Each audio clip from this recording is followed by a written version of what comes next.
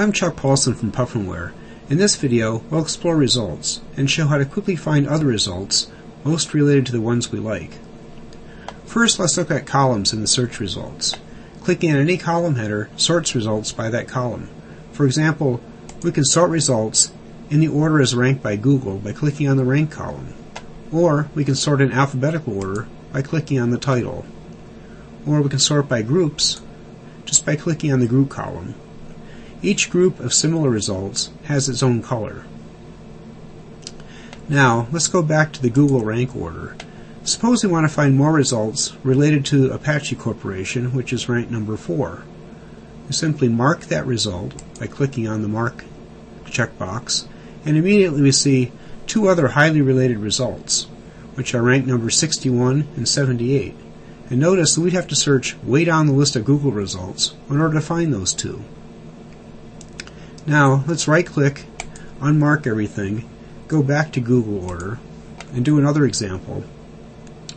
Here's a result number 6 about Apache Indians. If we want to find other results about Apache Indians, we can mark this one,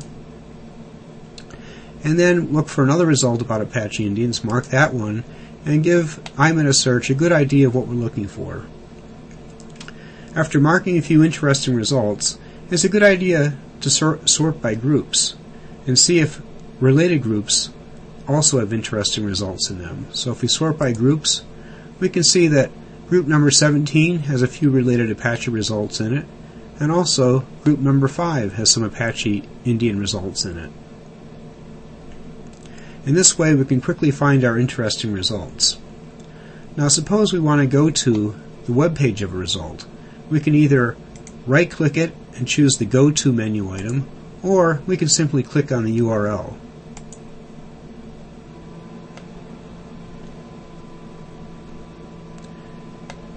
And here's our web page about the Apache Indians. Now, let's get out of this.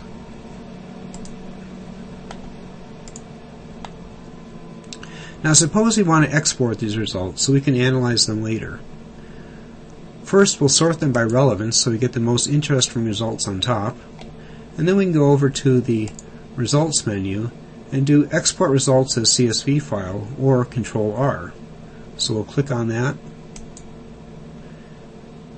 Results is fine. We'll click Save and ask if we want to see them. We'll say yes.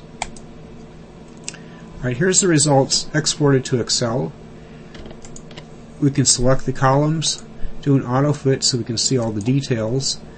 And here's the results about Apache, ordered by Apache Indians. Here's our relevance column. And we can see that if these were ranked in Google, we see here's number 6 that we started with. All these highly ranked results are way down the list in Google, but we've put them at the top because it says we're interested in Apache Indians. Let's get out of here. And go back to iMetaSearch. In the next video, we'll take a close look at the extracted words area and show how to explore words, how to find related people and websites, and also show how to refine our searches. Thanks for watching.